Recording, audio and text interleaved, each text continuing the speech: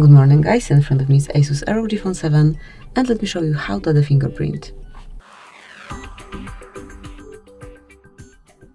At first open the settings, then find and select security and lock screen and click on fingerprint. Draw your unlock pattern if you already have one and if you don't you will have to provide uh, some pattern pin code or the password and once it's done just tap on next to enroll your fingerprint. So here is the sensor, all you have to do is to keep tapping until your fingerprint is fully added.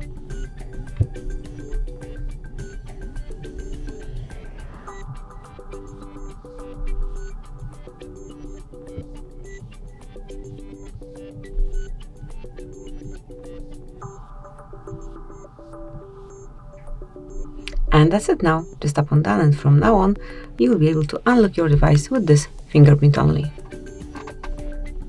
Just like this. So thank you for watching. Please subscribe our channel and leave the thumbs up.